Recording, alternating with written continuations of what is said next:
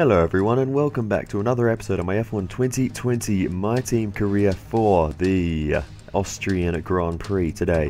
One of my favourite tracks, if not my favourite, on the Formula One calendar. So uh, let's hope for uh, another good run today as we have had many good runs here in the past. So uh, R&D chart there, uh, as you can see we are right uh, in the fight uh, to be one of the fastest teams. Racing Point making some gains into this one, so they could be looking very, very quick uh, to uh, very young drivers in their lineup though. So uh, they've always tended to to struggle a bit, but particularly Matsushita in race pace has been extremely solid. So with a podium to his name already this season, he'll be one to watch. But we do two consecutive laps in Q1 just to make sure we get through because our first lap there was a, a, the odd mistake or two so uh, just getting up to speed we're also running uh, without uh, traction control uh, in qualifying I did turn it back on a few laps into the race uh, just because I wasn't quite comfortable with it yet but here in qualifying no traction control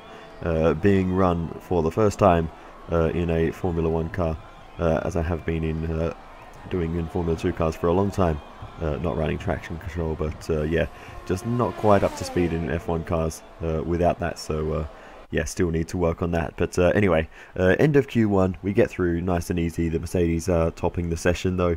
Romain Grosjean doing a decent job there, up in sixth position. We're in fourth. Matsushita doing alright in fifth. We scroll down though, and you can see the Hasses of Nick De Vries and George Russell down there at the bottom. They get through, and Pierre Gasly in the AlphaTauri uh, is knocked out. So uh, that's a surprise, as well as Lando Norris in the McLaren way down in 21st. So uh, he may have, maybe was caught out by the wet conditions, or slightly damp conditions. I'm not sure. Uh, as you saw the raindrop there, it wasn't meant to rain.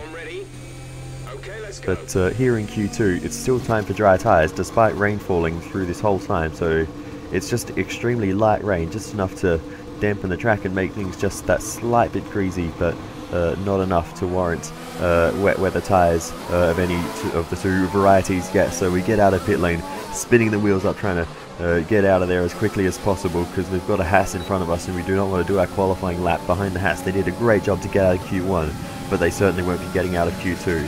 So uh, we need to uh, swiftly get past him and we do just that and we can get on our way to setting uh, some decent laps here in Q2 and trying to get ourselves into the final part of qualifying. A bit wide out of the final corner, but uh, it is all good. We can come across the line and uh, we will uh, set a uh, decent enough lap time. We go very deep into turn 3 uh, on our second attempt and have a little bit of a spin on the runoff and that was the that run over for qualifying. But our first lap uh, should be good enough to get us through uh, into the next session. So I'm not too worried as uh, fastest times are still being set. But uh, we do get through. Romain Grosjean just scrapes through down in ninth position.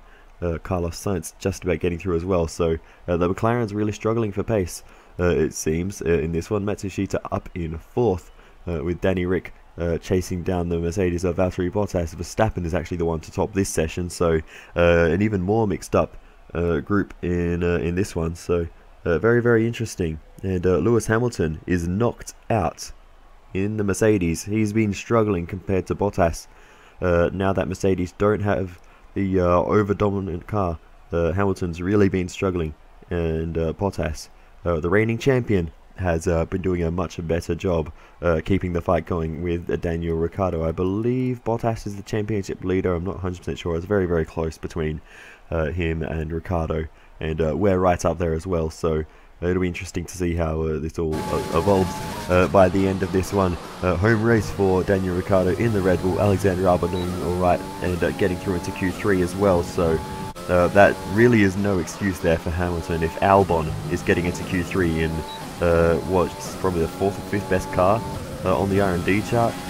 whilst the Mercedes is still right at the top, so yeah, Hamilton really underperforming uh, today in qualifying. But uh, we set our first lap in Q3, we go third fastest, and uh, now we are going to try and improve on that and see uh, if we can get uh, any further up the field. It's still not time for the wet weather tyres, but the pace has significantly reduced uh, between these each qualifying session, but uh, if we get a good lap together, we could improve. And you can see we are improving. Uh, in the top right there, you can see uh, purple first sector, and uh, we are a few tenths uh, up on our uh, previous time. So now we just need to try and bring this home through the last couple of corners. I can feel the conditions still getting worse and worse. So trying to uh, maximize uh, everything uh, through this final corner using the track space there on the inside and now the DRS open across the line we go fastest and with qualifying complete let's review our top three today the scientist Bottas and Max Verstappen Goodbye for now then, but we're really just getting started. Make sure to join us again for Lights Out tomorrow. So I said Austria is a good track for us and a pole position uh, only confirms that uh, Bottas, Verstappen, and Ricciardo fill out the rest of the uh, first uh, two rows of the grid. Romain Grosjean on the fourth row, uh, along uh, third row alongside uh, Charles Leclerc, uh, with Matsushita Albon, uh, Sainz, and Ocon filling out the top ten. Uh, Matsushita not doing quite as well as I would have imagined, unfortunately, in this final part of qualifying. I thought he would do a little better, along with Grosjean. Uh, but the Ferrari's doing well in third and fifth, so uh, they're looking solid and uh, right in the fight uh, with myself and Bottas uh, looking at their pace. And Ricciardo, uh, you know, he's been very quick over the season, so despite the, the pace gap there in qualifying, I'm pretty sure he's going to be right there come race day. So let's see how it all plays out in the race in just a moment's time. So yeah, this is going to be a, uh, a very, very close fight between the uh, group of us at the front. This is it then, race day in Spielberg for this year's Austrian Grand Prix. The grandstands were a sea of red in 2019 thanks to the commemorative hats in honour of the late great Niki Lauda, who took home victory of course back in 1984 and it's a sellout crowd once again here today. It's one of the shortest laps on the calendar today then with seven rights and just three lefts, making up the 10 corners of this high-speed circuit. Turn 2 is barely a corner at all. They'll be flat out through there, a left-hand kink into the uphill braking zone of Turn 3. Turns 1, 3 and 4 are all potential opportunities to overtake.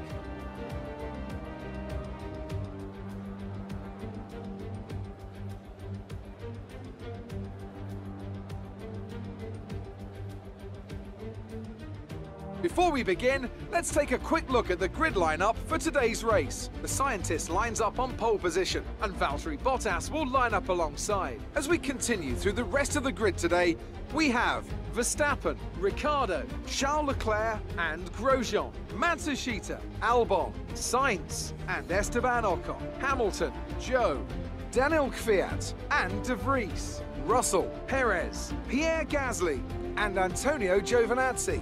Magnussen, Latifi, Norris and Lance Stroll brings the grid to a close.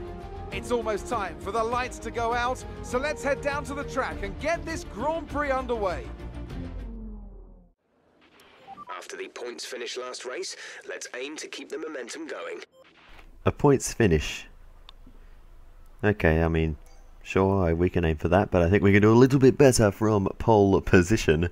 And uh, we are now looking uh, at the strategy, it looks like we're going to go for two sets of soft tyres.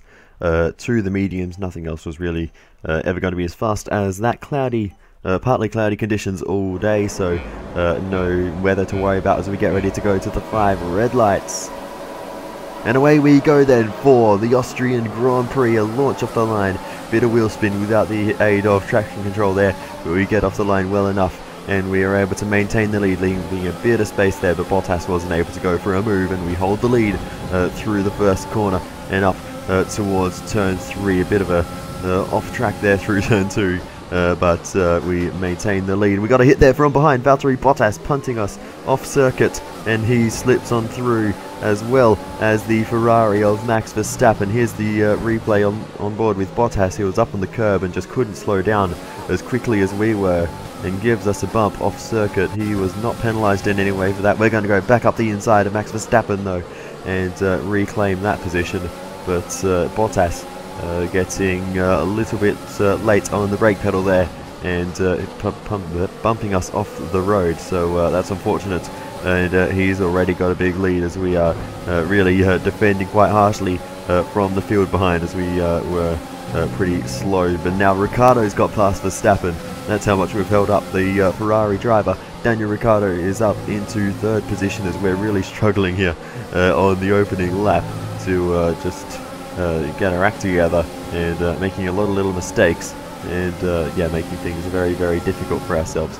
But anyway, we continue on and uh, we will try and uh, get away from this group behind Verstappen now is uh, back ahead of Daniel Ricciardo and now uh, is going to try and get past us as we go very deep into the second to last corner, trying to leave a bit of space on the inside. That was a lot of space there, and uh, that. Okay, keep on him. He might make a mistake. Uh, yeah, it was a big mistake there, so uh, that's cost us the position to Ricciardo as well. But you know, this might not be the worst thing for us. We can sit behind Ricciardo in the DRS now and uh, try and uh, just calm everything down a little bit. We've got Leclerc behind us. But Ricciardo will be in the DRS of Verstappen, so they'll be running a similar pace uh, that will be running a similar place, pace around us, I imagine. So, you know, maybe we can just settle into a rhythm here in fourth position. Hopefully, Verstappen has the uh, pace to catch up uh, with Bottas. I don't really imagine so. The Ferraris weren't that fast through the uh, stages of qualifying, uh, as uh, Hamilton and Bottas were locking out first and second until Hamilton didn't put the lap in when it mattered and Locke was knocked out in Q2. But they were one two uh, in the first round and Bottas consistent all the way through. Meanwhile, we've been fighting away with Charles Leclerc. We go back down the outside into turn three. Leclerc late on the brakes, but we've just got the overlap around the outside. It's got to give us the room, and uh, we get back through DRS open uh, for us there, and uh, that has uh, aided us in that battle uh, with Charlie Leclerc. But uh, anyway, as we continue on, we uh, catch up again to Daniel Ricciardo, very late on the brakes there and having to go straight on a little bit to avoid contact uh, with the back of the Red Bull car as uh, we have gotten away from uh, Charles Leclerc behind and uh, a whole stack of cars behind him as well, sort of queuing up. But as we continue on and much more controlled under the brakes this time there into turn 3, and uh, now trying to get the slipstream in DRS from Daniel Ricciardo.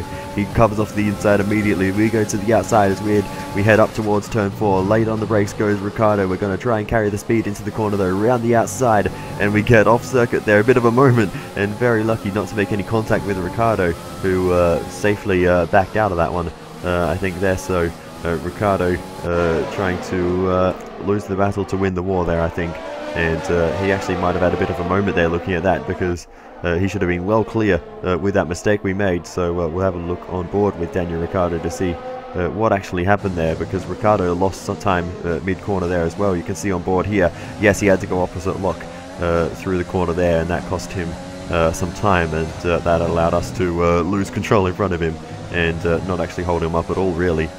So that explains uh, that one. Here's the onboard with Verstappen, and uh, yeah, you can see him uh, get uh, a bit of a swapper there, and uh, lucky he did because we would have slammed uh, right into him there if he hadn't dropped back that little bit. But as we continue on down the inside of Max Verstappen into turn three, and we get the move done. Nice drive off the exit, and I believe by now we are running the traction control again once we sort of got our pace uh, back in order. There's a replay of that move, and uh, we got that done easily uh, on Max Verstappen as uh, Antonio Giovinazzi uh, retires from the race in slow motion to keep that on the message on the screen for a touch longer. But anyway, as we continue on, it's time for our first pit stop of the race and uh, it's always a bit of a wild pit here in Austria you need to be very precise which is one thing I certainly am not. So uh, into the pits we go and we're going to get a new set of the uh, medium uh, sorry the soft compound tyres are not a new set. Uh, so both of those things I said were wrong. a scrub set of soft tyres now on the car and they will take us through until we put the mediums on the car later on in the race. But this set only did uh, you know, one lap in Q2, uh, sorry, Q3, uh, so uh, yeah, that's not really an issue. As we go down the inside of Danny Kvyat, and that was a nice, aggressive move on the Russian, and one we certainly needed to make because that was Valtteri Bottas coming out of pits right behind him. Here's the replay later on the brakes, so much later uh, than Danny Kvyat with our new tyres versus his old ones and uh, right behind him you can see that is Valtteri Bottas. That's where we would have been uh, if we didn't make that move, probably side by side with him. So uh, that was important. But now Bottas gets back through. We go down the inside into the first corner, uh, third corner rather, and make that move uh, back on Valtteri Bottas. So uh, this is going to be quite a scrap between us and other cars now getting involved behind. So it is far from over this one as we continue on because now it's the Ferrari of Max Verstappen getting involved in the fight as we uh, need to leave him some space there. And now Bottas is trying to get back around the outside, and he's done it. Bottas around the outside of the final corner, and uh, apparently we made a bit of contact there uh, with Max Verstappen. Here's a replay of uh, what happened, and we kind of just drove into each other there, to be honest. Uh, we definitely turned back to the right, but uh, Verstappen equally so turned to the left. You can see just there on the steering wheel, Verstappen turned to the left, and we, yeah, just yeah, drove into each other. You can see uh, from that angle as well, certainly.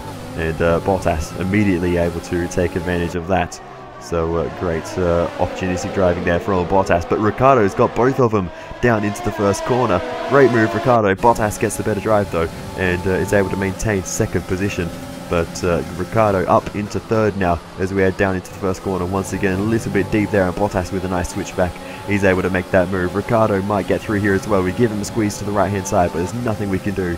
And Ricciardo is through uh, up into second position, and now it's his turn to go chasing down the Finn, who has led so much of this race. Bottas doing a good job here uh, in Austria, but uh, that undercut uh, has got us right back into the game, as with Daniel Ricciardo. But uh, continuing on further, and uh, we're struggling for pace once again, just about holding off Max Verstappen. They're running a bit wide at the first corner, but Verstappen very slow on the apex uh, as well, and he's going to uh, have another attempt down the inside into the first corner again. And uh, he really uh, blocked us off there harshly, but fair enough, I suppose.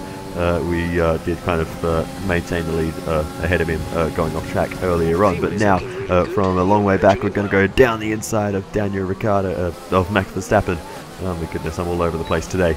And uh, we uh, get back past uh, the Dutchman uh, along uh, this uh, third straight of the lap. This is a, a, very heated fight for the podium places, but we need to get our head down again and find our rhythm and pace again because we've lost touch with the leaders. So we're going to go for an undercut once again on Bottas and Ricciardo, and we'll see what we can do with some fresh boots on the car uh, in uh, the remainder of this race because yeah we've just dropped out of contention uh, so we need to uh, get some uh, fresh rubber uh, on all four corners and see what we can do on a, a brand new set of medium compound tyres. So here we go then out of the pit lane and hopefully we won't be in traffic but it looks like that may happen as there is a car further up the road. It is the racing points of Guan Yu Zhou so still a decently fast car but uh, not uh, one we want to be stuck behind when we're trying to make an undercut and you can see just the dirty air here uh, not doing us any favours at all. I was trying to take a bit of an inside line there to see if that would help uh, clear the dirty air a bit, but it just wasn't really doing anything for us. So uh, we catch up to him in the same way we did on Danny Kvyat and uh, get through at the first corner. Not quite as much of a send there, a bit more of a uh, safe and uh, traditional overtake. But uh, as we continue on, we'll see if that cost us that time stuck behind him because there is Valtteri Bottas getting out of pit lane ahead of us. So there we go. We've got an undercut. We closed the gap. We're within DRS range now but uh, Bottas is uh, ahead at the moment. We've got Alexander Albon uh, further up the road. He still needs to make uh, a, another stop in this one. He's going to be uh, trying to hold up, hold up Bottas uh, for the sake of Daniel Ricciardo as well here and uh, it looks like he's going to do a decent job of it holding us up through the middle sector. But uh, as we continue on, Bottas goes to the inside, Albon defends, we go around the outside of both of them, very late on the brakes, just about getting turned for the corner, and we get both of them, and Albon still manages to stay ahead of Bottas, that is perfect for us. Here's the onboard with Bottas, you can see they both moved to the inside at exactly the same time, Bottas just had nowhere to go, wasn't very aggressive there, not as much as he could have been, Albon was so focused on covering the inside there, he left the door wide open on the outside and uh, we were able to swoop past both of them. Look at that. Look to the inside. There was no space there for us, but around the outside, we were able to just swing through and uh, get a massive launch uh, on the left-hand side there, and uh, made a, a, very, very nice move. And uh, we look at various angles of this one to uh, cover all that off because that was a nice move Uh, but uh, Lewis Hamilton is in for his final stop, which involves a front wing change uh, for the uh, number 44 car. So uh, he's obviously had uh, a coming together with someone in this race, and it's not been a great day for him as, as we get back up the inside of Bottas. He's got really good straight line speed, it seems, and we're struggling a lot at the moment. And just trying to hold on to this lead as much uh, as we can. We go on board with Valtteri Bottas, and there's a replay of that re-overtaking move as we uh, kind of uh, pushed him out very harshly there, but uh, just about fair, I think. but very, very aggressive, I will admit. Romain Grosjean, though, this is with damage to his front wing, and uh, he's coming in for an additional stop in this race. That's unfortunate for our teammate, and uh, he's going to be dropping uh, down the field, so uh, not a good end uh, to his day. Let's see what he can do with some fresh boots and uh, all of that. But uh, this is now aboard with Daniel Ricciardo. He goes down the inside of Valtteri Bottas into the second to last corner, and he's got through. What a move, Daniel Ricciardo, and uh, he has made that one work. And uh, now he's uh, trying to make an overtaking move on us to the inside of turn 3. We leave him a bit of room, ran out wide ourselves, and out onto the curb. We just about stay uh, ahead, but Ricciardo will have the DRS and he gets through. And uh, let's see if we can do anything here. Not able to make a re-overtaking move to the inside of turn 4. And Ricciardo is through and up into the lead uh, at uh, the home race for his Red Bull team. So uh, that is great uh, run so far for Daniel Ricciardo. We'll see what we can do in the rest of this one as we run a bit wide there. But let's try and get things back under control. And yeah, gets this race uh, back in our favour as now we have to defend from Bottas, who's trying to go around the outside, and he's got through. There. There's not much we can do. We actually uh, take a bit of avoiding action there to make sure we don't plough into the back of him, and uh, that's lost us a bit of time there through the final uh, couple of corners. So. Uh, yeah, we need to uh, try and get back past Bottas and then Ricciardo. First up Bottas, and we're going to make a big dive here down the inside of turn 4 and make sure we get this one done really great stopping power actually. That took me by surprise. I was expecting to go straight off into the sand uh, there. Uh, how much later compared to Bottas. Uh, we broke, broke, but uh, yeah, we uh, managed to uh, get away with that move. And now Daniel Ricciardo got past the racing, the, the Haas car, sorry, of Nick De Vries. We do the same and make sure we cover off Bottas in case he was getting through uh, as well. But uh, yeah, it uh, hasn't really worked out for us, and uh, we're spending too much time fighting with Bottas and not enough time uh, trying to catch up to Daniel Ricciardo. There's another uh, very defensive re-overtaking move, if you like, and we make sure we stay ahead of him once again. But uh, as we continue on, not covering the inside here, and Bottas takes that advantage down the inside, but he's not able to get the turning there uh, the way we uh, can on the inside line, and uh, we stay ahead. Bottas back down the inside towards the first corner this time. We give him a shuffle towards the inside. We go around the outside, carrying the speed, and uh, make sure we cover him off on the inside here straight away. And now he's side by side with Max Verstappen, giving the Ferrari some slipstream along the straight and uh, trying to keep them side by side as we head towards turn 3 late on the brakes and uh, we make sure uh, to stay ahead of them but uh, not uh, by too much unfortunately at the moment. So we'll see uh, if they get a good run. Once again down the inside goes Max Verstappen. We get a brilliant switchback here though through the right hander and they just have no traction on the exit of turn 3 and uh, we are able to make the most of that. We continue on and uh, you can see giving Verstappen a big squeeze to the inside as we run side by side through turn 1 and uh, we managed to stay ahead of him. That's given Bottas a run on Max Verstappen. Again, we're trying to uh, alternate the slipstream uh, between those two and trying to keep them side by side and uh, keep them fighting with each other and it looks like it has worked because they are a fair way behind us now so uh, that is uh, great news for us. We can try and push away, uh, but it's not going to last long because we just simply do not have the pace that those two have at this point. We're just uh, staying ahead uh, with some aggressive defense. We go again then as we head uh, towards the final lap of this one, and this has uh, been a great defensive drive for us, but I would have preferred to have a little bit more pace uh, in this one. But up the road, there is no complaints for this man. Daniel Ricciardo as he rounds the final corner. He's going to come across the line to win the home race for his team here in Austria, and that is Antonio Giovinazzi, I think. uh, a lap down there. But uh, across the line we go then to take a, very nice second place. Okay, good job, mate. Really well done. That was a fantastic drive. And a, a very hard fought one at that, holding off championship uh, title rival uh, Valtteri Bottas. Lewis Hamilton gets the driver of the day, so uh, even with a front wing change, recovering well. That's it then for another spectacular Grand Prix here in Austria. And a truly magnificent drive to hang on and take the win.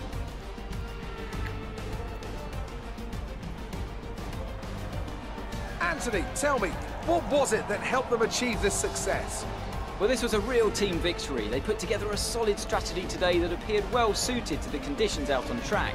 The driver did everything that was expected of them in the moment to really execute the team's plan to perfection, a shining example of how F1 really is a team sport. Here come today's winners. The team at Red Bull have done a phenomenal job recently. It's clear to see that they've put in the work and they should be proud of the victory they secured here. Well, there you have it. Daniel Ricciardo takes the race win here in Austria for Red Bull. We finish up in second position with Valtteri Bottas in third.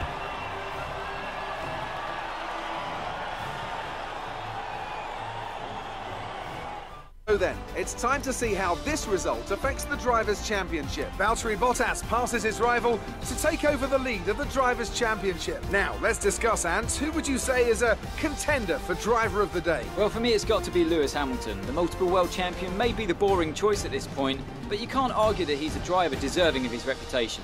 Let's move on to the constructors. Mercedes moved to the top of the table. Meanwhile, good work from the owner drivers team this weekend, who pushed themselves further up the order. Well, Ant, an end to another fantastic weekend of racing. Thanks to everyone who joined us, and we'll see you for the next one. Third in the drivers, third in the constructors. Not bad uh, for our team. Romain Grosjean uh, did manage to recover uh, back into the points this time, so uh, decent, very, very decent uh, for him. Uh, I think, did he beat Lewis Hamilton? I'm not entirely sure on that one, but still great, great uh, drive from him to get back into the points with an extra pit stop.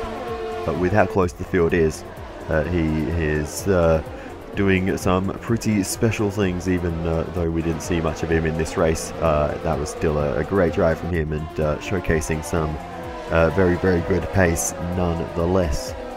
But anyway, we actually managed, I didn't mention it at the time, the, to snatch the fastest lap at the end there and uh, that grants us a, a, bonus point. So uh, that's great uh, for uh, all those uh, one percenters that could uh, add up to a title challenge by the end of the season. We're not really, we're not quite on the pace of Bottas, but with races like this where we're able to hold him off despite him having DRS the whole time, just the fighting between him and Verstappen on occasion as, as we uh, you know, we're trying to, to keep that fight going between those two. Uh, really saved us in that one. And uh, they just dropped out and, uh, you know, had to use all their energy and power to, to, to close the gap. And then uh, didn't always have enough left to actually make the overtake. And by the end, we actually started to get away again from those two. But yeah, Daniel Ricciardo, he was untouchable today. We had nothing on him. he was yeah, always making moves. He got undercuts as well, and uh, yeah, just uh, played this race uh, to perfection, and uh, yeah, took a, a, rather convincing win in the end. We had nothing on him. Uh, once he got the lead, he was off and uh, racing into the distance. So great drive from him as we cross the line in the dirt. The fans really seem to enjoy that. He made it look easy. Things looked close between you and your rival for a bit, but you came out on top, didn't you? Yeah, Charles was uh, struggling in this one, to be honest. You're beating all expectations. Would you say we all underestimated you? I think uh, we, uh, again, sort of maximised what uh, we uh, could have achieved in this race. We didn't have anything on Ricciardo, but uh, with some defending, we got a good spot. How do you think this team will be feeling after that result? I think Red Bull will be uh, very, very happy with that home win uh, for a team. Is uh, always the best type. Uh, we've uh, been close before. It was more like Dodgems than Formula One today, wasn't it? Uh, I wouldn't really say that, but uh, yeah, we had a, a, bit of a run-in with Max Verstappen, but uh, I think that was a 50-50 incident, to be honest. Appreciate your time. Thank you, Claire. Well, there we have it. Yeah, Charles Leclerc was struggling in this one, just didn't have the pace that Max Verstappen did around this circuit, so uh, unfortunate uh, for uh, him. But uh, anyway, we uh, we move on, and uh, we have a lot to get through. Sponsors need to be renewed. Romain Grosjean needs to be renewed, and we have this activity timeline stuff as well. So first up, the activity timeline, which I've accidentally just filled up with random stuff at the moment.